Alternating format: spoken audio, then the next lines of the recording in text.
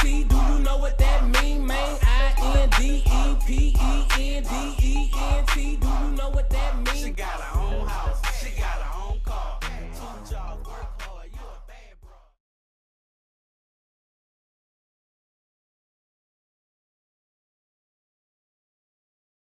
We've got $15 million that's been made available to that, uh, to that area. It's, it's called a TIF district, a tax uh, finance district. And it's going to be made available there. We don't even have an idea of who we're going to put there yet. I mean, we should be out recruiting. Um, and, uh, and I, uh, I talked to uh, the Racine County Economic Development uh, Corporation. And at our last uh, council meeting, they said, well, look, we've created 300 new jobs in, uh, in Racine. And my question was, again, how many of those jobs went to people who live in the city of Racine? Yeah, okay. Because if you don't hire one of those, uh, if you don't hire a resident from the city of Racine, you're not doing anything for my district or for my city.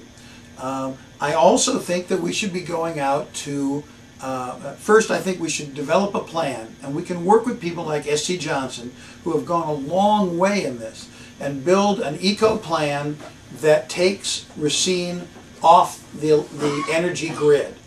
If we can do that, we can go out to ener- alternative energy associations like solar and wind and geothermal and say, you know what, we're on track to take our city off the grid. We've got SC Johnson, who's one of the industry leaders in, in, in, in clean mm-hmm. manufacturing. Mm-hmm. We're the place for you to come and locate your business. And on top of that, we'll work with Gateway and UW Parkside to develop the core curriculums so that we can take our own Racine residents and train them for those jobs and make them job ready for the next stage of advanced manufacturing, which is green manufacturing. I've heard a lot of talk about green manufacturing in the city. I haven't seen the kind of steps that are necessary to bring those businesses into town. And we can do that. when you have large uh, unemployment like we have in Racine, where we were leading the state of Wisconsin at one time, but now we are a step behind below it as far as unemployment. And again, a high unemployment in the central city area. Uh, you you have you have law and order problem. You have gang problem. Do you have any idea of some of the things that you would do as mayor to try to curtail and make our streets and communities safer? Well, I, I think that the existing uh, cop house program has been very successful. Um, I go to every cop house meeting um, in the second district, and we have people who are actively engaged in protecting their neighborhoods. You know, I when I ran for alderman, I went to every single door in the second district three times. Um, and you know, it didn't matter whether it was people living on Racine Street or people living on Lake. Everybody had the same concerns. They were concerned about public safety, they were concerned about taxes, and they were concerned about the transparency and lack of openness in government. And um, I have found that same thing at the cop houses. People are working together. What we have to do is bring Racine together as a community, like a family that looks out for each other. Now, in terms of specific programs, there are gang diversion programs. But you know what? Gang diversion programs can't start at age 12 or 16. Gang diversion programs have to start at age 6 and 7 because that's where kids are starting to be recruited by the gangs. Um, then you look at places like the community center, and, and we are we are blessed to have a wonderful community center uh, at the Dr. John Bryant Center, uh, run by uh, Lisa Hill Driver. And you know, if you walk into that uh, that community center, you will find that center full, basketball, uh, uh, boxing, uh, ceramics programs, a computer lab. We have all kinds of programs going on there. We need to do a little better job, I think, of promoting what we're doing in those community centers. But those community centers are keeping kids off the street. I'll give you a perfect example. A young mayor was recently elected in Atlanta, and they had closed down all the community centers. And you know what was happening? The pools were all empty, and the neighborhood kids were throwing dice in the empty pool. Isn't Okay. that? And that's that's what happens when you stop looking after the youth who are going to be taking over this city. Um, and at age 16 and 17, you can have a few successes, but it's pretty darn hard. At age six and seven, you start instilling a sense of self-worth. You help. You, start giving people, kids, a sense of achievement. And we've seen that successfully in programs in Milwaukee and in programs in Madison. And we need to really push those programs here in the city of Racine. Now I can scratch off one of the questions I was going to ask you, which was, uh, how is your commitment? What type of commitment do you have to the community centers? Because the community centers in, in Racine, especially the John Bryant and the uh, Martin Luther King, have very historical values to the African American population. And, and at one time it was talk that those centers might uh, be closed for financial reason to try to save money in the budget. Would, would you, as a mayor, would you look at closing community centers to save money? Absolutely not. Um, I do not want to. I do not want to see any community centers closed. I want to see us building them up. I want to see us attracting more people. And you know, there is a perception, and I want to. I want to address something that that you raised, Ken, mm. that it's mostly African Americans coming to these centers. Mm-hmm. Because I will tell you that at the John Bryant Center, that certainly isn't true. Mm-hmm. Um, you find a mix of seniors, of young kids, of, of, of white, of, of Hispanic, of African American, and everybody's playing together. And you know, that's how you build a community. When you can break down the walls of fear because these kids have been playing together since they were six or seven or 8 um, that's the way things need to be. Yeah.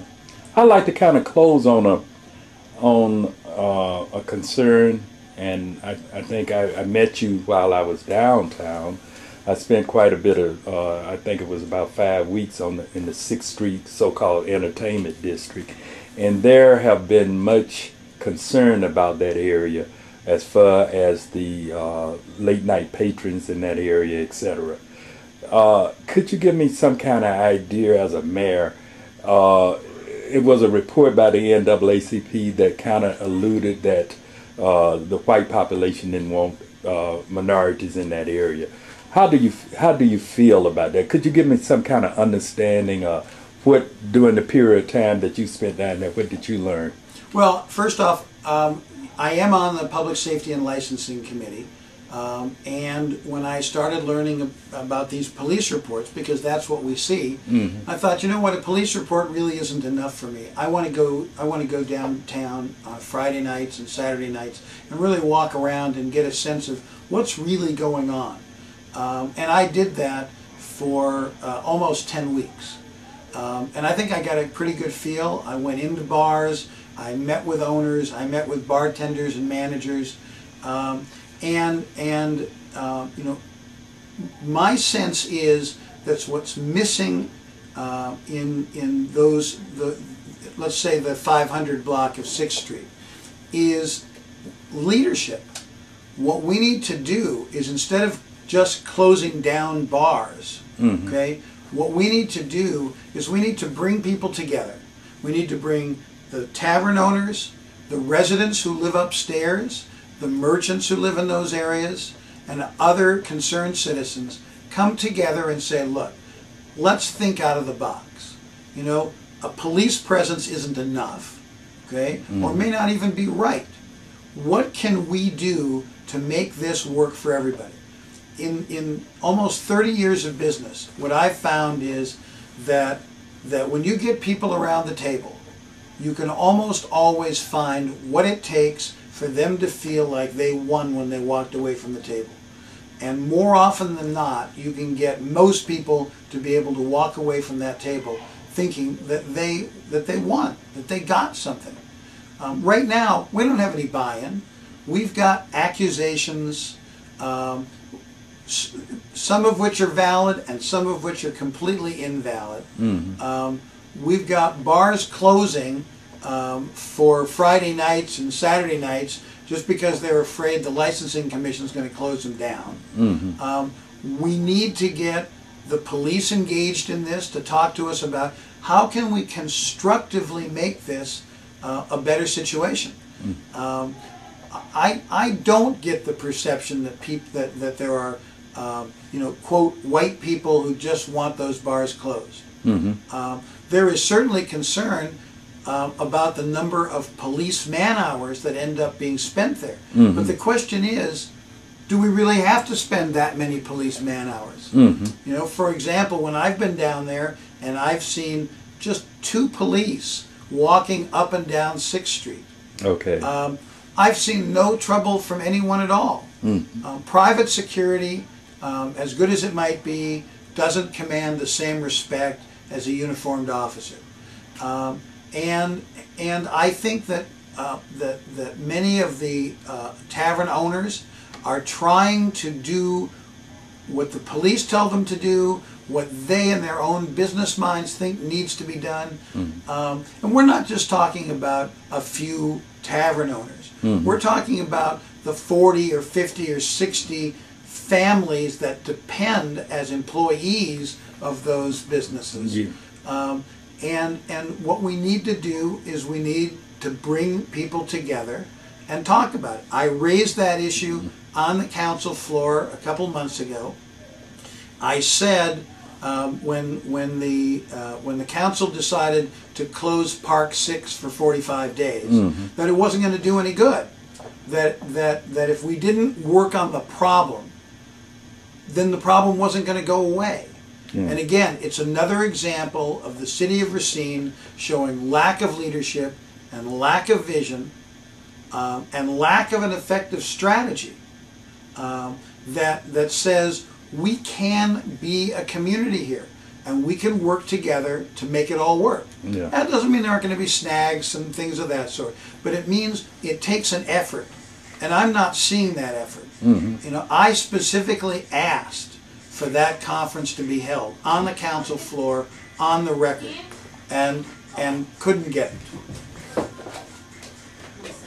Okay, in closing, people want to know in plain, simple terms who are you? I'm an honest man who you can trust. Um, I think I, I bring um, business experience, I bring government experience. Um, um, I don't want to be immodest, but I think I'm, I'm, I'm a pretty smart guy. Uh, and I think if we add all that up with a genuine caring for the people of the city of Racine and a passion to bring the city of Racine back to where it once was, then we can make a real difference in this town. And, we need to do that now. Thank you. So that's significant.